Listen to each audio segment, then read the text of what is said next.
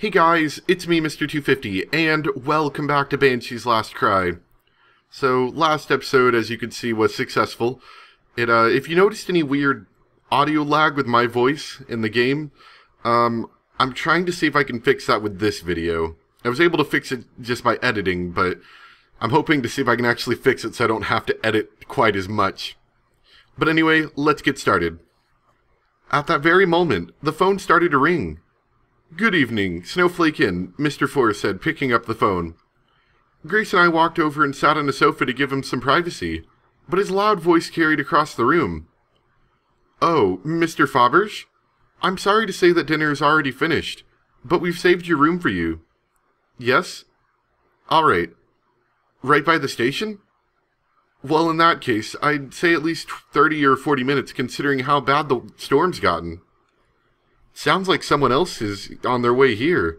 He must have gotten delayed by the snowstorm, whispered Grace. Yeah, probably. I just hope he doesn't get stranded on the way out here.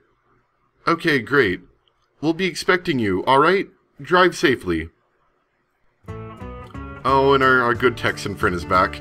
Just after Mr. Forrest finished his phone call, the short, middle-aged Texan from earlier came down the stairs. Y'all mind if I turn on the TV? he asked as he approached, his drawl hanging out like a spare tire. That's funny. Sure, go right ahead, I said. He plucked the remote off the table and turned on the TV, rapidly flipping through the lame-brained reality series and melodramatic crime shows. Ah, oh, dang it, ain't a darn channel showing it. He switched off the TV and turned back towards me. Say, boy, I don't reckon you heard the closing price, did you? Uh, the closing price? Uh, what's company? The stock exchange may as well have been on Mars for all I knew about investing, but even I knew what a closing price was. Not for a company, son. I mean the whole enchilada.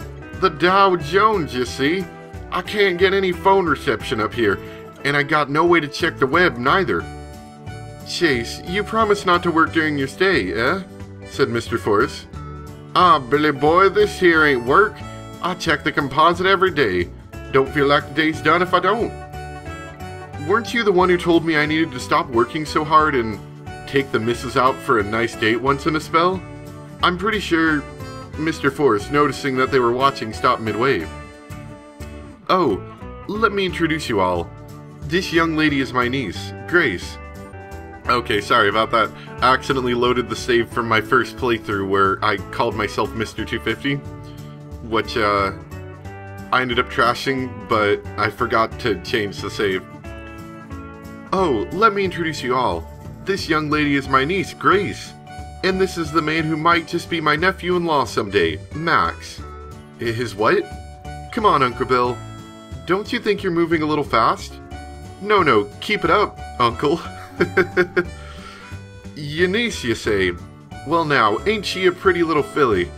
Mr. Buchanan leered at Grace as he said it, his, eyes, his eyeballs glinting predatorily. Or perhaps it was just my overactive imagination. Mr. Buchanan saved my skin plenty of times back when he was still working at the firm. He runs his own outfit in Dallas. Howdy! Nice to meet you. I gotta tell you, Billy boy, y'all got a good thing going here. I know tons of folks who would quit their day jobs and wound up practically ruin their whole lives over it, but you're the first one I've known that turned out alright. The short little man from Texas turned to look at me. Y'all could learn a lot from Billy here. He's a great man. By the way, y'all students? Uh, no. I'm pretty much working. That rat. Full-time salaried employee? Uh, well, no. More on a part-time basis at this point. Well, in that case, come on and work for me. You'll just love it. We work purely on the merit system. None of that seniority bull hunky. We got young folk in their first year making more than old timers been around for ten. His booming voice ensured everyone in the room, and possibly the time zone, could hear him. I, I, I really do like this translation, it's really nice. Yeah, but way I see it, you got a horse what can't pull a plow. It's time to hitch up another one. So how about it? What you say come work for me? The idea of spending eight or so hours a day with this man as my boss made me a tad nervous. yeehaw! Let, let, us save the yeehaw for another time, how about that? Well, I kinda like the job I have now, I said, opting for a safe, non committal reply. But it didn't appear that Mr. Buchanan was in listening mode. Everybody keeps talking about recession this and recession that, but let me tell you something America is still the land of opportunity, and anyone willing to work hard can still strike it rich. So, what do you say, son? Now, both Mr. Forrest and Grace were looking at me with amused smiles on their faces. Uh, uh, well, I'll give it some thought, I said, trying to put an end to the conversation. I bet you want to know what makes my company so strong, huh? Well, it's all about the business model. I had apparently failed. Sugar Pie, can't you see you're boring him half to death? said a soft, sweet voice with just a whiff of Southern Belle. I turned around and saw Miss Buchanan, yeah, Miss Buchanan standing there looking quite beautiful. My husband isn't bothering you, is he? When I saw them earlier from a distance, I thought they were a mismatch of a couple, but now, seeing her up close, she looked even younger than I thought. If he was 35 or 36, Mr. Buchanan, if she was 35 or 36, Mr. Buchanan had to be at least a dozen years older than her. And that was being conservative. Let me introduce y'all to my lovely wife Amber. And this here's Billy's niece Grace and her fiance Max. Our impending marriage was steadily becoming a fiat accompli, one that Grace could no one that Grace no longer even had the energy to refute. Pleased to make your acquaintance. Uh, same here. Smiling brightly, Amber took a seat on the sofa next to Mr. Buchanan. You know, that dinner was a sheer delight from start to finish. Oh, well, I hope you're not just flattering me, Mr. Forrest said, his face rapidly flushed with pride. Absolutely not. It was truly delicious, sir. A compliment from a beautiful woman like you is a real thrill indeed. Was it my imagination, or was there suddenly something in the air? I'm feeling mighty thirsty. Wonder if I could trouble you for a beer or something. Mr. Buchanan, perhaps not liking the situa- the sudden camaraderie between the two, interjected. Of course. Would you like a drink as well? asked Mr. Forrest, trying to smooth things over. Well, maybe just a little, Grace said, holding her fingers a couple inches apart. Just a little for me too, I said, following her lead. Mr. Forrest disappeared into the kitchen at the back of the dining room. Suddenly, the sound of, of something heavy hitting the ground came from outside the window. Whoa, what just fell out there? I blurted out involuntarily. Grace chuckled. It's just the snow falling off the roof. Huh? Oh. That was anticlimactic. was it really just snow? As I was looking out the window wondering, I noticed a faint light approaching from far away. Headlights. A few seconds later, the headlights had grown large and I could make out the sound of a car engine. Since there weren't any houses nearby, I assumed it must be a late arriving guest.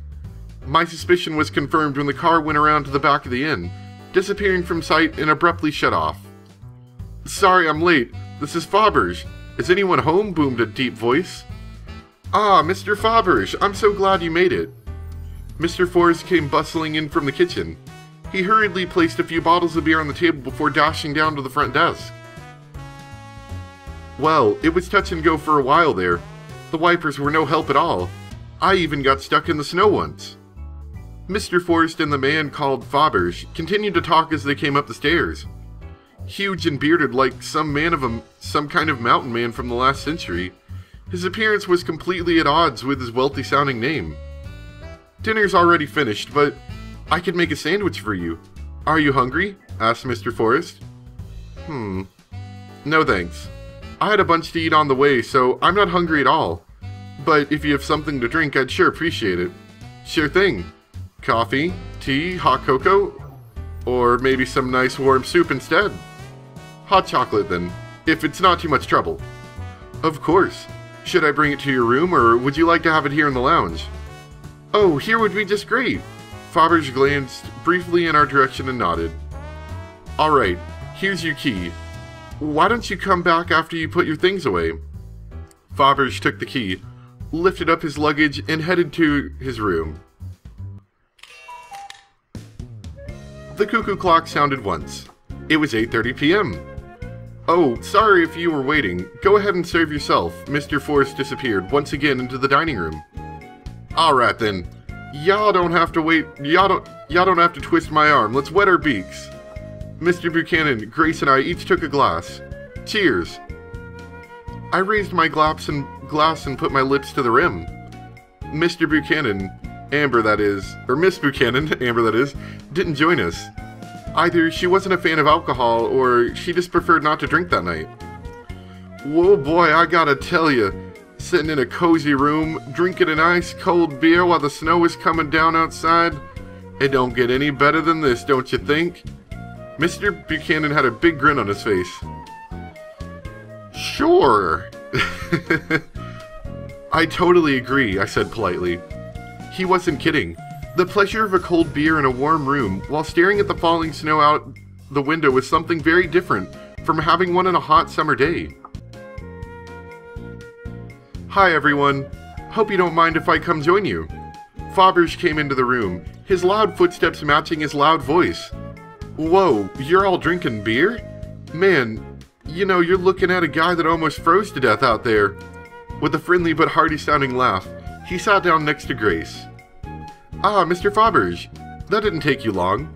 We're just pouring your hot cocoa now, said Mr. Forrest, bringing another bottle of beer to the table. A moment later, his wife entered with their employee, Abby, who was carrying a mug on a tray. I see you're not drinking beer, Amber. Would you like some hot chocolate, perhaps?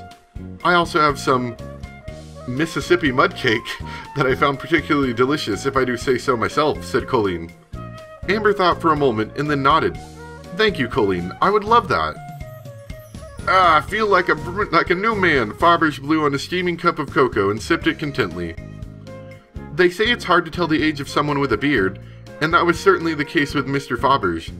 His voice and manner of speech did make him sound like he was in his mid-30s, but if he shaved off his beard, I wouldn't have been surprised to find out that he was closer to me in age.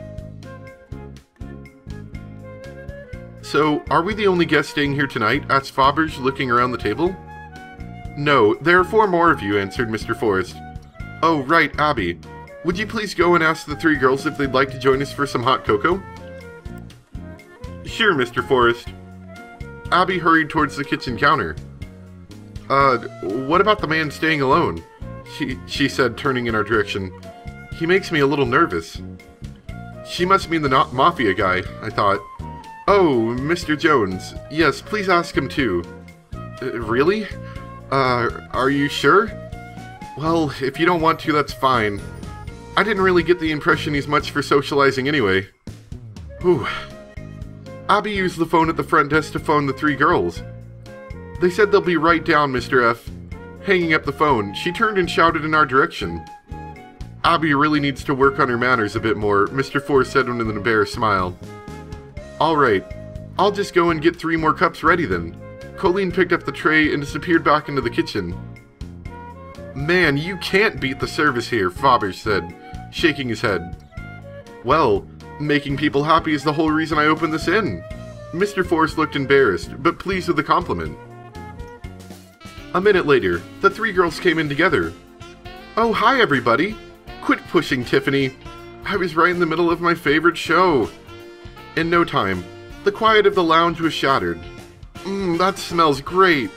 Oh, sorry. Can I squeeze by here? I told you to quit pushing, Tiffany. With all the extra people, Grace and I decided to sit at the table. Even so, the sofas were still packed tight. Just then, Colleen returned with the cocoa. I asked Bobby if he wanted to come, but he was watching TV and said he didn't want anything. Thanks for the cocoa, Together, the three girls raised their mugs to the mouth and blew softly before taking a sip. The cuckoo clock rang out. Everyone looked towards it. It was already nine o'clock. When the clock stopped telling the hour, the roaring wind outside began to sound louder than it had before. The frames in the windows rattled violently, threatening to break the thick double-paned glass. There won't be an avalanche, will there? asked Molly nervously. Oh god, cut it out, Molly. We don't need any more bad luck. I'm still freaked out about what happened earlier. Tiffany blushed and covered her mouth with her hands. Happened earlier? asked Faberge. I tried my best to cover for Tiffany. They were talking about us getting snowed in and starving to death. They found a cockroach in their soup. Ugh. Or they found a threatening note saying that someone would die tonight. I mean, honestly, honesty is the best policy, right?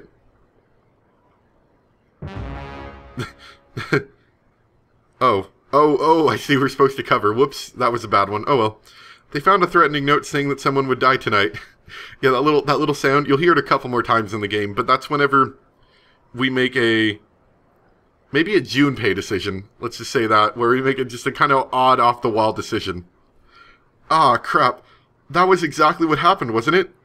Fortunately, I don't think it registered with anyone, because there was no reaction. I really need to work on my inner filter. Um, do you work here at the inn? Tiffany asked Faberge. Me? No, I'm just staying here for the night. But here, let me introduce myself properly to you guys. After all, there are lots of beautiful young ladies here tonight. He put down his mug, and his voice suddenly sounded more formal.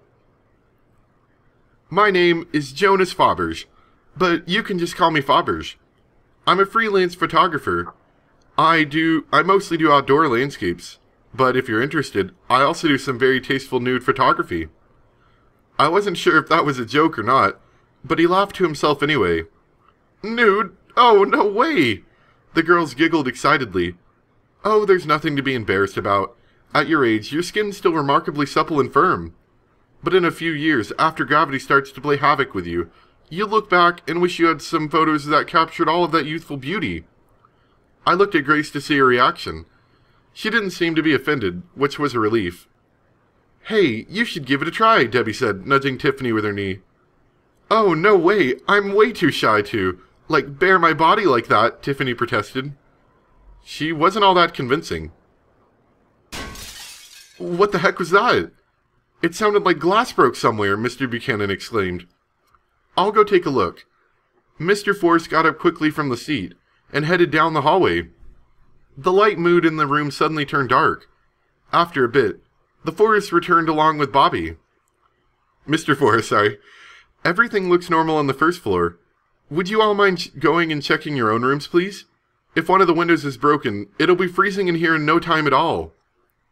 None of us was interested in sleeping in a freezing cold room, so we all got up and headed to our individual rooms. As soon as I got to my room, I opened the door and took a quick peek, but nothing seemed out of the ordinary. Just to be sure, I made certain the window was firmly shut before heading back out of the hallway. Grace, Mr. and Mrs. Buchanan, and Faberge each checked their own rooms. It didn't take a mind reader to tell from the looks on their faces that their rooms were normal as well. After examining the empty room, Mr. Forrest joined us in the hallway. Nothing in any of your rooms, eh? which means that there's just one left to check out. Mr. Forrest stared at the last remaining door. Of course it had to, belong to that one mob-looking guy. Unconsciously, we had all arranged ourselves so that we were surrounding Mr. Forrest. Now that I think about it, maybe he was the one who wrote that note, Grace blurted out. What do you mean? Maybe he killed someone in there, she said softly, so only I could hear. Come on, Grace. Besides, it's only 9 o'clock, right? Even if that were really a murder note, it said midnight. Yeah, but criminals usually only write stuff like that to confuse people. Didn't you ever read Ag- Agatha Christie? Good point. Mr. Jones, are you in there? Summoning his resolve, Mr. Forrest marched up to the door and knocked forcefully. He waited for a few seconds, to no effect. I listened closely and could make out the sound of rushing wind from inside the room. Mr. Jones! He knocked again, harder this time. Again, there was no response. Sounds like something happened in there, I said. Mr. Forrest nodded and placed his hand on the doorknob. It's locked. With a nervous sigh, he inserted the key he was holding into the keyhole. There was a clicking sound as the lock disengaged. Mr. Jones? He started to open the door. But as soon as it opened, we all knew something was terribly wrong. We were assaulted by a powerful blast of freezing cold air from inside the room. Beyond this gust came the sound of rapidly flapping curtains, along with something banging loudly. Mr. Jones! The force of the wind ripped the door from Mr. Forrest's hand and slammed it violently against the wall. I got my first look at the room. It had twin beds, just like mine. The inn had no singles, so even people staying alone had dual beds. A frenzy of snow was blasting into the room from the shattered window. The heavy curtain on the window was flapping so hard that it threatened to rip itself off the curtain rod. Shards of glass and snow littered the bed near the window, but there was no one to be seen. Are you in there? Mr. Jones! Calling out in a loud voice, Mr. Forrest opened the bathroom door right next to the entrance. We had heard a sound from the window. Turning, we saw that the window, reduced mostly to its frame, was hanging was banging against the outside wall. Do you think he jumped out? I asked. Why would he do that? countered Mr. Forrest. I had no answer, of course. Meanwhile, he seemed to be hesitating. Aren't you going to take a look? Mr. Forrest nodded and slowly started forward, deeper into the room. Grace and I followed him while the others remained outside in the hallway. Using his right hand to shield his face from the blowing snow, Mr. Forrest arrived at the broken window. He stopped and froze, abruptly appearing stricken. Oh God, he muttered. I inched forward until I saw that what he was staring at. There was a gap of about a foot and a half between the bed and the window. Lying there on the floor was what looked like a collection of mannequin parts. A hand was sticking out from beneath a black cloth. Atop that lay a brown colored foot that looked like it had been carelessly tossed there. A pair of sunglasses near a face that was splattered with something dark and red. You know those dolls where the arms and the legs are connected in the torso by a red string, and if you loosen the string, the whole body just comes apart? Well, that's what this looked like. A collection of body parts, just stacked on top of one another. Oh, God, it's a body! Mr. Forrest shouted suddenly, unaware of the freezing wind and snow pouring onto him from the broken window. Unable to utter a sound, Grace and I just stood there and stared at the horrifying pile that was already disappearing under a layer of snow. Ten minutes later, the guests and the staff of the Snowflake Inn were all gathered in the lounge. Well, everyone except for that guy that was now cut up in pieces, that is. So there you go. That's the first look into the uh, what we're going to be dealing with. It's a uh, murder mystery, to be sure, and it's uh, it, it gets better. It really does. It's it's it, it is a really fun story. But uh, we're going to leave it there for today. I hope you guys are enjoying it so far. It's uh it's definitely a bit of work to record on the iPhone, but as you can tell, it's definitely doable. So let me know what you guys think, and if you're really interested, we will go through the whole game. If there's not a ton of interest, I may just, you know, just do one route, just like one path through the game. But if people are interested, please let me know, and uh, we could probably do a full game, because that would be fun. Anyway, thanks for watching, and I'll see you guys next time. Bye!